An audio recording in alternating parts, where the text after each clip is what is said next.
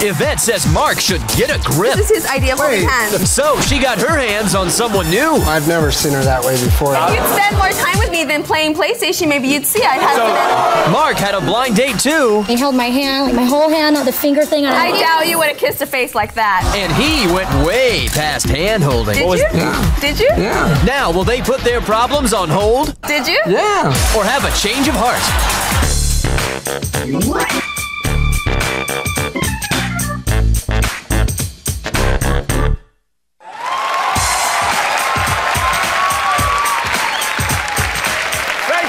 I'm Chris Jagger. Welcome to Change of Heart. This is the show where couples who are questioning the future of their relationship agree to go on one blind date with someone new. So let's meet today's couple. Now, she's a waitressing wench at a medieval style restaurant, and he's a chef at a fancy French cafe. Now, when they met about eight months ago, she lit his flambe with her sultry smile, while his sexy sleeve of tattoos left this damsel in distress. Please welcome Mark Sims and Yvette Rincon. Welcome. Now, you guys are on the show because you're not sure that this fairy tale romance is going to have a happy ending, and let's find out why. Mark, we're going to start with you. Does Yvette actually enjoy the perks of dating a gourmet chef? The only chef she would fall for is Chef Boyardee. Well, that's not Chef Boyardee. So what? She doesn't appreciate all your efforts? No. He puts pepper in my food, and I don't You know like what? pepper in my food. I he like, to, tries I like to He cook. tries I to cook fake. with pepper. You know, it's like on her salad. It makes my she throat only itchy. likes lemon juice like and it. salt. I'm you a know? big girl. Itchy throat, though, if she doesn't I'm a like big it. girl. I know what I like. Anyway, you Yvette, know? if, if he's the gourmet chef a- and you're the serving wench, are you also the cleanup girl? No, she's a slob. I'm not a slob. She's a total slob. I'm I not like a slob. things neat and Okay, organized. when I come home after working, I've worked very hard. Sure. Okay, I'm tired. So if I put my shoes in the corner, I don't have to put them away right then. Yeah, He's so anal. I just, he I'm cleans very every neat. day. I like things vacuums, neat and organized. Vacuums I like all my the house time. Neat, you know, I like Our my, house my is like house this- where I And live she's just neat. the opposite, I guess. Yeah, she's totally just throw it everywhere. You No, know? that's not true. Yeah, just Now- No, it's not. Yvette, you say you don't indulge his romantic meals. That's one thing. What about some romantic moves or uh, something else that you might treasure that you like from him? Something romantic. Okay, um, there was one time that he was telling me that he never gives girl flowers. They never appreciate it. So um, he, we had an argument, and the next day he brought me flowers with saran wrap around them. It was sweet. It Saran was sweet. wrap. I was very surprised. It was, was really good. sweet. Yeah. So, so I, I, Mark, obviously that's kind of thoughtful. How would you describe Yvette, though? She's a pest. She's always at me. I'll be at home playing Sony PlayStation or something, and she'll like uh, turn it off while That's I'm not true. playing I'm the there game. The middle of the game, days- that's a If- bad I'm move. there yeah, two or days if I'm out of the reading a week. magazine or And a he's book, she'll pull it from PlayStation while I'm sitting you know, there, get not rid paying of it, attention to me. you I'm know? hardly ever there. Why Yeah, can't you pay whatever, attention you to know? me? I'm Why do you gotta play game, you PlayStation? know? Yeah, well, let me ask you this, Mark. Is there a particular time that when you actually value her attentiveness and she's around? Yeah, I was in the, an accident. and I was in the hospital for about four days, and she was there the whole time. She slept there, didn't leave. You know, the only time she left was when she went to get me some clothes to change into. You know, but she stayed there, slept Wow, there. so she was totally there for you. Very Yeah, sweet, Yvette. yeah. All right. Like so, that. Yvette, you're making him feel special at that point, you know, when he needed you. Does he make you feel the same way? I wish he did. He oh. makes me feel more like a friend than a, than he's my boyfriend. He's more like my friend. We go out, he leaves Anyway, me. whether. He doesn't pay attention to me. He doesn't care whether I'm whatever, having a good time. Leaves me at the bar, sitting there. I by just- Mark, myself. you got a romancer a little bit here. I, What's going I just, on? I'm not the type of person for a public display, you know. I just, I'm the We wanderer, you out know. I like to mingle, you know. I like to check things out, walk around. I'm the Why don't, wanderer. why Okay, don't you well- check me out? I do. I check you out all the time. Can you even get him to hold your hand? Yeah. Does he even hold He your hand? He doesn't hold my hand. This is his idea of holding Oh, a hand. no holding way. The fingers. that's One 'cause finger. she's The finger lock. No, We're like, no. oh, babe. I, yeah, Anyway, you're it's just because she's so limp with her hand, you know. I like a nice firm grip, and she's Now, like, Mark, okay, so you're not a fan of public displays of affection. How's Yvette, though, when you're out in public? she swears like a sailor. She's just terrible, you know. That's it's right, like I do. swears like I a have the right to speak it's however I like. embarrassing. It- we'll be no at Disneyland. Attention to what we're no saying. How about thing Yvette? What about him being rude in public? If you're, you know, swearing in public is He rude. is rude in public because, like I said, when we go out, he doesn't pay attention to me. He's inconsiderate. That's because I'm the wanderer. I like to walk around and mingle, see what's up, you know? That's the way it Then he should be single. I'm not sure what he's looking for, but not. obviously you guys are trying to tolerate each other's differences. Now, Yvette, how, how do you think that dating somebody else is going to affect what you have? I think that Mark needs to see that just a given person will give attention. I need attention. It's a given thing. And that if he doesn't give me attention, that I might not be around for very long. Uh oh. Uh oh. All right. Will the picky pesky sailor and this neat freak stay together? Find out later. Next, though, we're going to meet their dates, so stay here.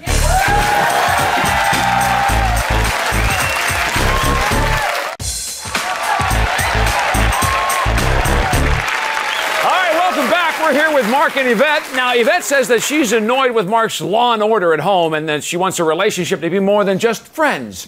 So we hooked her up with a guy who's politically incorrect but promises to take her to seventh heaven. Please welcome Danny Baraz. Hey, Danny. Good to see you. And you know Yvette? Right, Mark, what do you think? Uh, Yvette's date with Danny, kind of like Fantasy Island? Yeah, Pardon me? Like like being stranded on Gilligan's Island. Sounds like you got some insecurities coming out there, buddy. Uh, Yvette, what about you? What was the first so, thing you noticed about Danny? The first thing I noticed about Danny is that when we spoke on the phone, he took control. He was like, okay, we're gonna do this, and he had plans, and he was just very together.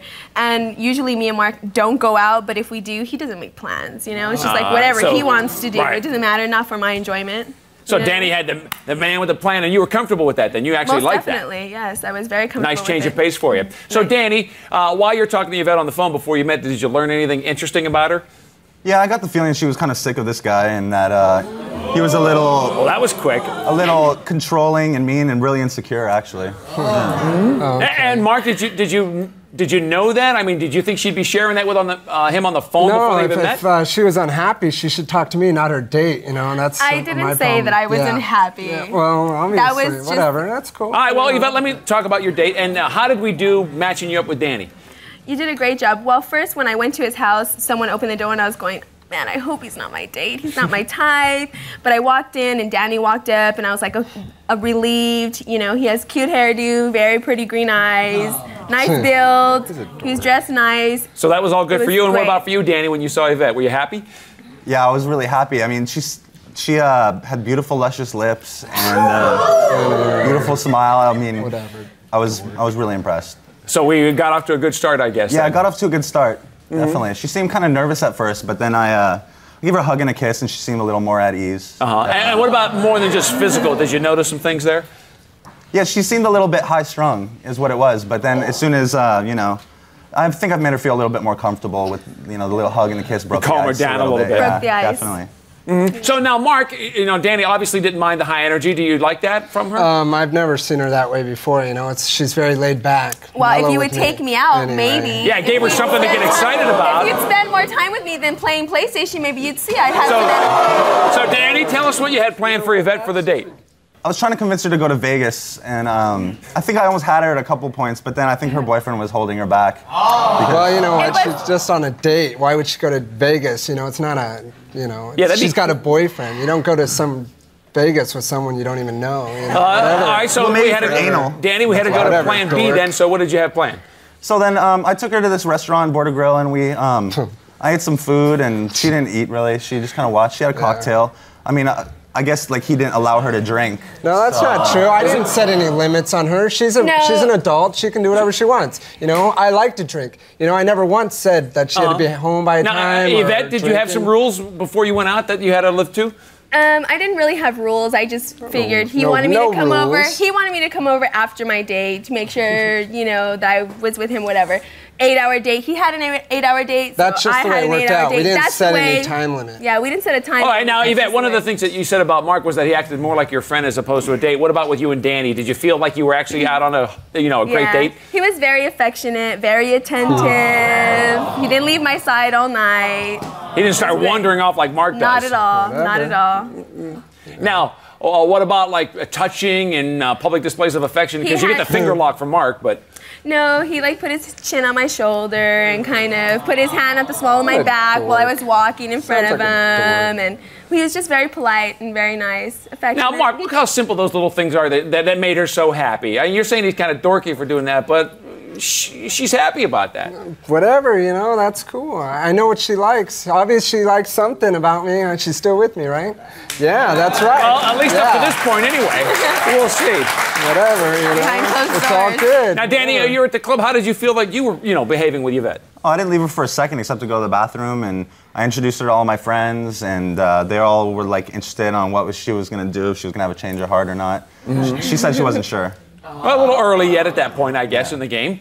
All right. So, Danny, um, throughout the date, we heard, uh, you know, that she has a rough mouth. So, did you experience that? Was she cussing away? Yeah, she did it a little bit. I mean, but it was a little bit endearing. She, I mean, she uses the F word like a lot of people use like in a sentence, but Right? that's okay. that didn't bother you at all. Then you're no. like, yeah, whatever. No. All right, Yvette, uh, you're having a conversation with Danny. Anything particular stand out? Um, one thing did stand out. We don't have a lot in common. Me and Mark have a lot in common. That's one thing that did stand out a lot. So you noticed the big differences. Is that, and what was it? Just every category, music, Just a different little bit in each category.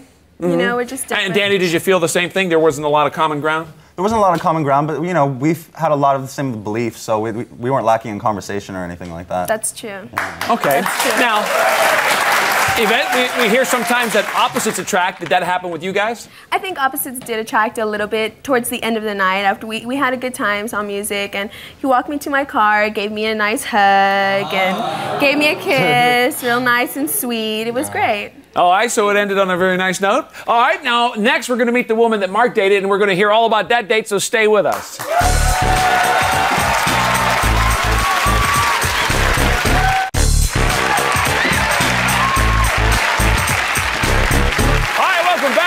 Heard what happened on Yvette's date with Danny, and now we're going to meet the woman that Mark went out with. Now, Mark gave us a wish list for qualities for his new date. Now, Mark, what exactly was it that you were looking for? Tell us. Um, short hair, someone with nice clothes, someone who knew how to dance, swing dance. So those were the things that were going to be important Yeah, to you? those are things that I like. All right, well, let's see how well we did. Please welcome 24 year old Christy Morgan. Hi,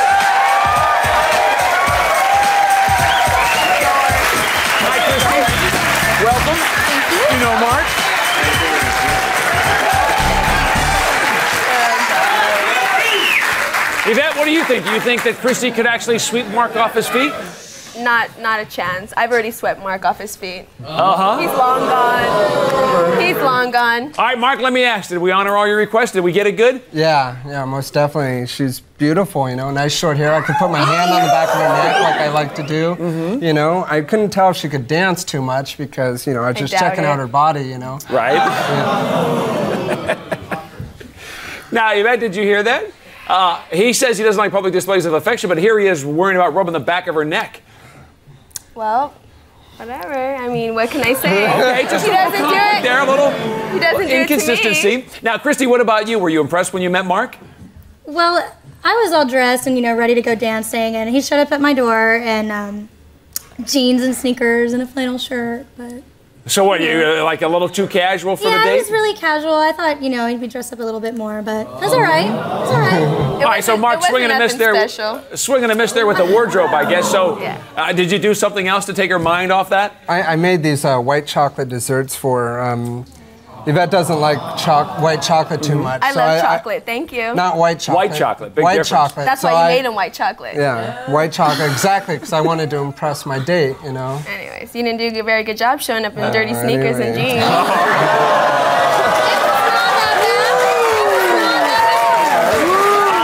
It wasn't dirty. It wasn't that bad. Mark, were I you- know his sneakers. Thank you, honey. Hey, Mark, were you?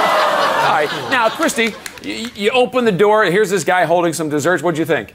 I thought it was really sweet that he took time to make something for me. You know, usually people don't bring me gifts, and the norm is like flowers Right. or whatever. I thought it was sweet. He took time to make something for me. little time and effort put into it. Yeah. Okay, so Christy, you Not like the white chocolate part. What about the fact that he's got these tattoos all over the place? Love it.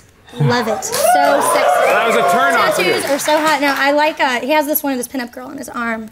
Which one is it? On this arm? Love Little it. pinup girl? Okay. I love Uh-huh. tattoos. They're Okay. so sexy. They so are. that was definitely a plus. So you I like agree. that.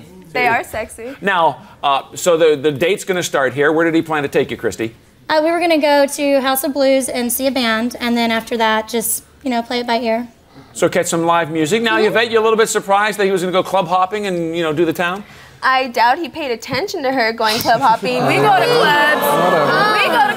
And he's across the room doing this, doing that. So. So, Mark, where, where were you at the clubs? Were you Um, beside the Christy whole or did time you I wander? was standing right next to her, hugging on her. You know, Never left her side. was Never left her side. didn't put much thought The only time, the only time that I uh, left her side was when I went to go buy her a drink. You know. Right. Now, here's the other thing, Christy, when Yvette was talking about when they're out, no public displays of affection. He never left your side. What about the PDAs? Oh, he was.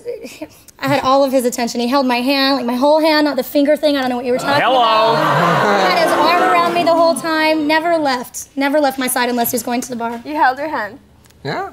So a little different side of him, Yvette, this time around. Now, Mark, you can't act like that with Yvette, but why were you acting like that with Christy? I want Yeah, to make why? a good impression. You know. It's He knows how to first get a woman, but not how to keep a woman.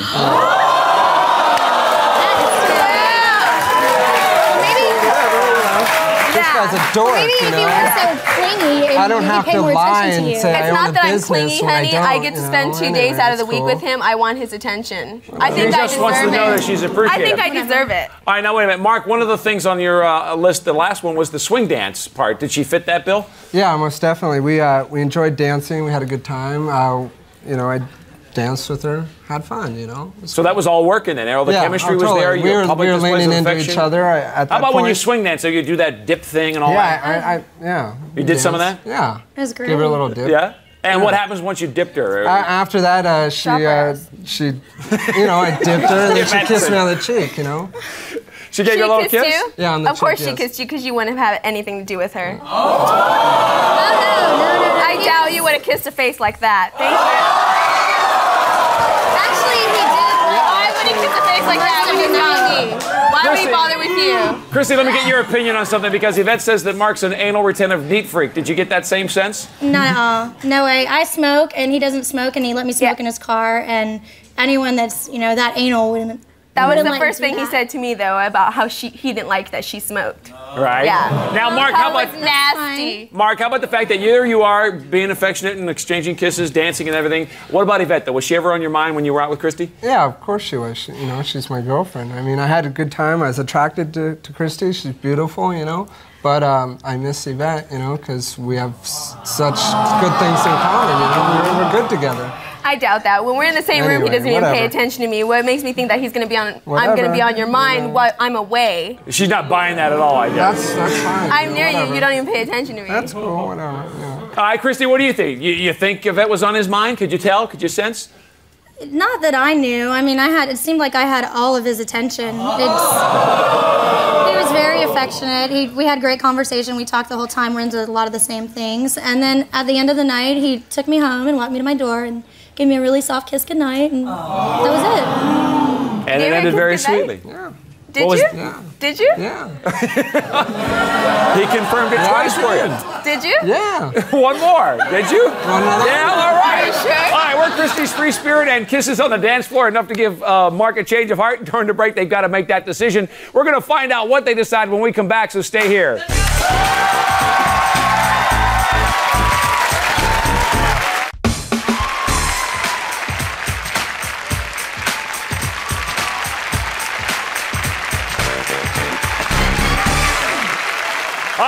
We go. Clearly, Mark and Yvette have bonded with their unique and rather eccentric taste. Now, underneath that core, though, Yvette needs a man to give her more attention, to be her lover and not just her friend. And Mark, I guess he needs a woman who's more independent and less of a pest. So, Yvette, we're going to get your decision first, though. Now, you said you wished Mark would treat you like a girlfriend and be more romantic. You did go out with Danny. We set you up with a nice date, and he did give you what you said you were missing with your relationship with Mark. So, we need to get your decision stay together or change of heart. Well, Danny was great. He gave me a great date. I had a really good time. I haven't had a good time like that in a long time. But me and Mark just have a chemistry that's unbeatable. So stay So together. So you say stay together. All right, Danny, sorry things didn't work out for you. Mark, let's get your decision here.